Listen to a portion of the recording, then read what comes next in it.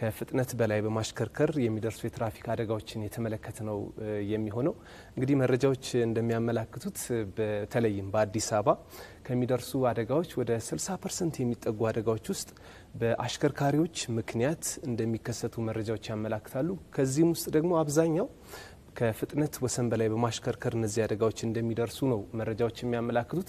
አሁን እንግዲህ የምንገኘው የበዓል ሰሞን የበዓል ዋዜማ አካባቢ ላይ ነው የምንገኘው እና እነዚህ አብዛኞቹ ከፍጥነት ወሰን በላይ በማሽከርከር የሚደርሱ አደጋዎች በተለይም የበዓላት ቀናት ላይ እንደሚደርሱ እነዚህ መረጃዎች ያመላክታሉ። አዎ የትራፊክ አደጋን ስናነሳ እንግዲህ በብዛት በተለያዩ ምክንያቶች ሊከሰቱ ይችላሉ። ከፍጥነት በላይ ማሽከርከር፣ የተሽከርካሪው የቴክኒክ ጉድለት እንደ ምክንያትነት ሊነሳ ይችላል። እግረኛ ቅድሚያ ለመስጠት እንዲሁ ጠጥቶ ማሽከርከር፣ በጣም ብዙ ምክንያቶችን ልናነሳ እንችላለን። ስለዚህ የትራፊክ አደጋን መከላከል ሲባል ታዲያ ብዙ ነገሮችን ታሳቢ ማድረግ ያስፈልጋል። አሽከርካሪዎች ላይ ብቻ የምንተወው ጉዳይም ሳይሆን በጣም ብዙ ወገኖችን የሚያሰባስብ ነው። እያንዳንዱን ሰው የሚያሰባስብ የእያንዳንዱን ኃላፊነት የሚ ጠይቅ ጉዳይ ነው። ነገር ግን ከፍጥነት በላይ ማሽከርከር የሚለውን ስናነሳ ደግሞ አሽከርካሪዎች ትልቁን ቦታ ይዛሉ። ትልቁን ኃላፊነትም የሚሸከሙት እነሱ ናቸው። ለእግረኛ ቅድሚያ ለመስጠት የሚከሰተውም ከዚሁ ከፍጥነት በላይ በማሽከርከር ከማሽከርከር ጋር የተያያዘ ሊሆን እንደሚችል ይገመታል ና እነዚህ ነገሮች ላይ እንግዲህ በተለይ አሽከርካሪዎች ኃላፊነትን መውሰድ እንዳለባቸው እናምናለን። በዚህ ጉዳይ ላይ ተጨማሪ ሀሳብ እንዲያጋሩን እዚህ ስቱዲዮችን እንግዳም ጭምር ጋብዘናል። ጉዳዩ አሳሳቢ ስለሆነ በየጊዜው የምናነሳው ጉዳይም ቢሆን አደጋው እስካለ ድረስ ደግሞ ሁሌም እናነሳዋለን እና ማንሳታችንን እንቀጥላለን። እንግዳችን እዚህ ስቱዲዮ ተገኝተዋል። በአዲስ አበባ ከተማ አስተዳደር የትራፊክ ማኔጅመንት ባለስልጣን ምክትል ዋና ዳይሬክተር ኢንጂነር ኤልያስ ዘርጋ ናቸው። ባነሳ ነው ከፍጥነት በላይ ማሽከርከር ጋር የተገናኙ ጉዳዮች ላይ ተጨማሪ ሀሳቦችን እያነሳን ከሳቸው ጋር ቆይታ እናደርጋለን። ጤና ይስጥልን። ስለመጡ ከልብ እናመሰግናለን ኢንጂነር። እስኪ መግቢያ እንዲሆነን በፍጥነት ማሽከርከር እንደው ለትራፊክ አደጋ መንስኤነቱ እንዴት ይገለጻል የሚለውን በማንሳት እንጀምር።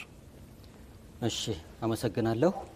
በዚህ ርዕሰ ጉዳይ እዚህ እንድንነጋገር ስለጋበዛችሁን በተቋማችን ስም እናመሰግናለን።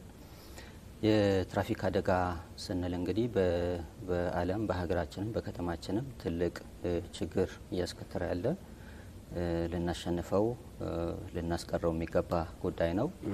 በዓለም በየአመቱ እስከ 1.35 ሚሊዮን አካባቢ ሰው በዚህ ጉዳይ ህይወቱን ያጣል። በሀገራችንም ከ4000 እስከ 5000 የሚደርስ ሰው በትራፊክ አደጋ ህይወቱን ያጣል። በከተማችንም በየአመቱ እስከ 400 የሚጠጋ ሰው አካባቢ በትራፊክ አደጋ ህይወቱን ያጣል። የትራፊክ አደጋ አስከፊነቱ የህይወት መነጠቅ ብቻ ሳይሆን ሌሎችም ተከትሎ የሚመጡ ችግሮች አሉ። ከባድ የአካል ጉዳት ይደርሳል። ቀላል የአካል ጉዳት አለ። ከባድ የሆነ ንብረት ውድመትም እየደረሰ ያለበት ሁኔታ አለ። ችግሩ ዘርፈ ብዙ ነው። አገራት ከአገራዊ ጥቅል ምርታቸው ወይም ከ GDP ያቸው ከአንድ እስከ ሁለት percent በየአመቱ ያህል ጉዳት ይደርስባቸዋል። ይሄ ትልቅ ጉዳት ነው። በገዳይነቱም በዓለም የጤና ድርጅት ገዳይ ተብለው ከተፈረጁ ጥቂት እንደነ ኤች አይቪ ወባ እና ሳምባ ነቀርሳን በልጦ ከፊት ቆሞ ያለበት ሁኔታ አለ። በጣም ትልቅ ችግር ነው የትራፊክ አደጋ። ምናልባት እኛ ካነሳነው ከዚህ ከፍጥነት በላይ ማሽከርከር ደግሞ ዋነኛው መንስኤ እንደሆነ ይነገራል እና ያንን መቆጣጠር ላይ የተለያዩ ስራዎች ሊሰሩ እንደሚገባም ይታመናል። እዚህ ላይ የተሰሩ ስራዎች አሉ፣ ምናልባት ቁጥጥር ከማድረግ ጀምሮ ማለት ነው። የትራፊክ አደጋ መነሻው ቅድም ለማንሳት እንደተሞከረው ብዙ ነው። መነሻው ከአሽከርካሪ ስነ ባህሪ ጋር የሚነሳለ፣ ከእግረኞች የመንገድ አጠቃቀምና ግንዛቤ ጋር ተያይዞ የሚነሳለ፣ ከመንገድ መሰረተ ልማት የሚነሳለ፣ ከተሽከርካሪ ቴክኒክ ሁኔታ ጋር የሚነሳለ። ሁሉም በጋራ ተሰርቶ ሁሉም አካባቢ ብዙ ስራ ተሰርቶ መወገድ መቀነስ የሚችል ነው። በተለይ በዓለም የጤና ድርጅትም አጋላጭ ተብለው የተለዩ አምስት ዋና ዋና ጉዳዮች አሉ። ከአምስቱ አንዱ የፍጥነት ጉዳይ ነው። አልኮል ሌላው ነው። ስልክ እያናገሩ ማሽከርከር፣ ሄልሜት አለመጠቀም፣ የ seat belt ያለማሰር፣ እነዚህ ሁሉ አጋላጭ ተብለው እኛም እየሰራንባቸው እንደ ዓለምም እዚህ area ላይ ተሰርቶ አንዳንድ ሀገራት ላይ ለውጥ የመጣበት ነው። ከሁሉም ከአምስቱም የፍጥነትን ጉዳይ ለይተን ስናይ ከፍጥነት ወሰን በላይ ማሽከርከር በጣም ትልቁን ድርሻ የሚይዝ ጉዳይ ነው።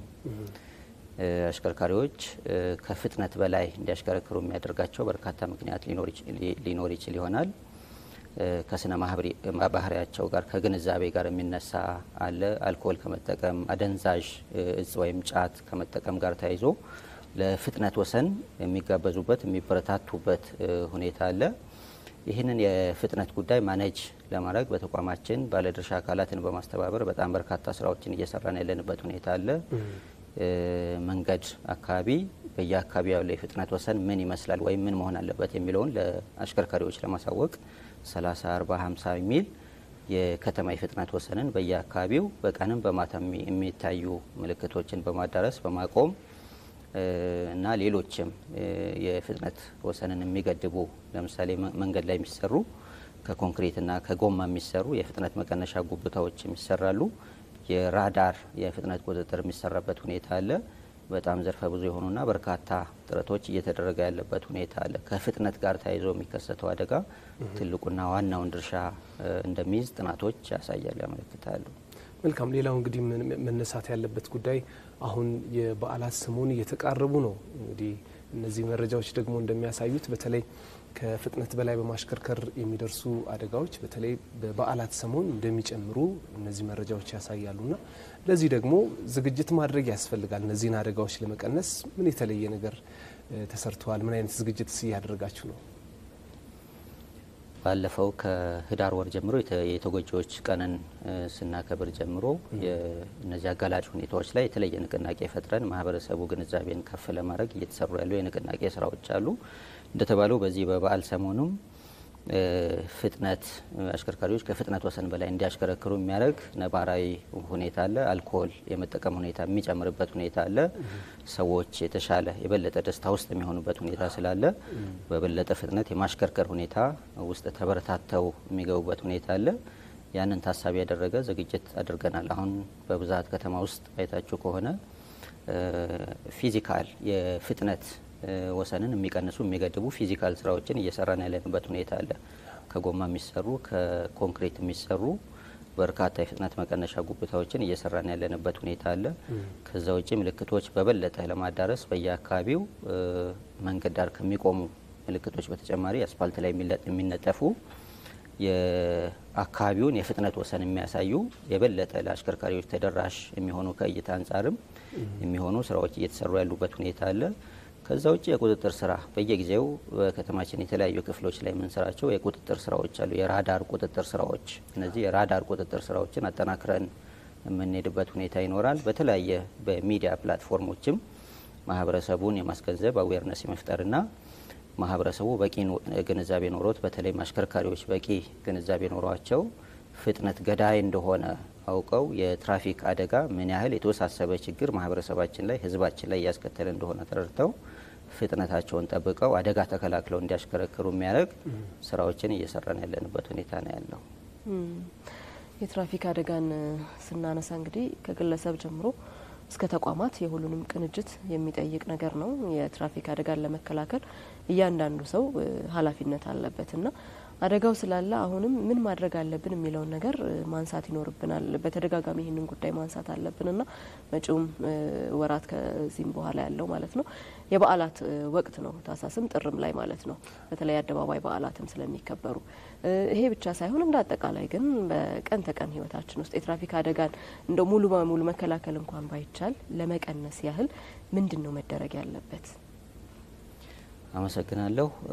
እኛ እንደ ተቋም እየሰራናቸው ያሉ ስራዎች አሉ። የመንገድ ደህንነት ምክር ቤት የሚባል የተቋቋመ ምክር ቤት አለ። በከንቲባ ነው የሚመራው። እኛ ጸሐፊ ሆነን ለዛ ምክር ቤት ጸሐፊ ሆነን እየሰራን ያለንበት ሁኔታ አለ። 13 አካባቢ የሚሆኑ የመንግስታዊ ተቋማት እና መንግስታዊ ያልሆኑ ተቋማትን አቅፈን እነዚህ አካላትን አሰባስበን የ13 ዓመት የ3 ዓመት የ5 ዓመት እቅዶችን አቅደን ተግባራዊ እያደረግን ያለንበት ሁኔታ አለ። ከመንግስት አንጻር በጣም በርካታ ስራዎችን እየሰራን ያለ ነው። አሁን exist ያደረጉ መሰረተ ልማቶች አንዳንድ ቦታ ላይ የዲዛይን ችግር ያለባቸው ስለሆነ ተጨማሪ ማሻሻያ የሚፈልጉ መንገዶች አሉ። እነዛን እየለየን ይዘቱን ደህንነቱን የሚያረጋግጡ ስራዎችን መንገዶችን ኦዲት እያደረግን redesign እየተደረጉ በርካታ ቦታ ላይ የእግረኛ መንቀሳቀሻ የእግረኛ መንገዶችን ማኖር፣ እግረኞችን ከተሽከርካሪ የሚለይ ቦላርዶችን፣ አጥሮችን የመትከል አጋላጭ የሆኑ ቦታዎችን መልሶ የመስራት እና አደጋን ሊቀንሱ የሚችሉ ቴክኒኮችን ተግባራዊ የማድረግ ስራ በሰፊው እየሰራን ያለንበት ሁኔታ አለ። እንደ መንግስት እየሰራን ነው። ቅድም እንደተባለው መንግስት ብቻውን ወይም አንድ ተቋም ብቻውን የተወሰኑ ተቋማት ብቻቸውን ብዙ ለውጥ ማምጣት አይቻሉም። ይህን ሂደት ማህበረሰቡ ማገዝ መቻል አለበት። አሽከርካሪዎች ከመንግስት የሚነገረውን ሀሳብ ምክረ ሀሳብ የሚወጡ ህጎችን በአግባቡ መተግበርና አደጋ የሆነ ቀን የሆነ ቦታ ላይ እኔ ላይ ሀፕን ያደርጋል፣ ይደርሳል፣ ቤተሰብ ላይ ይደርሳል፣ የሆነ አካል የሆነ እግረኞችን እጎዳለሁ። ዛሬ አደጋ ስላልተፈጠረ ምናልባት ያለፈው ሳምንት ወር አንድ አመት የሆነ አካል አደጋ ስላልፈጠረ ወደፊት አደጋ አይፈጥርም ማለት አይቻልም። በየትኛውም ሁኔታ በየትኛውም ቅጽበት የትኛውም አሽከርካሪ አደጋ ሊያደርስ ይችላል። የትኛውም እግረኛ ወይም ተሽከርካሪ ወይም ተሳፋሪ ላይ አደጋ የማድረስ ወይም የመድረስ እድል አለው። ይሄ ግንዛቤ በሁሉም ዘንድ ኖሮ አሽከርካሪዎች ህጎችን አክብረው የመንገድ አጠቃቀምን አስተካክለው ተስተካክለው የሚያሽከረክሩበት ሁኔታ መኖር መቻል አለበት።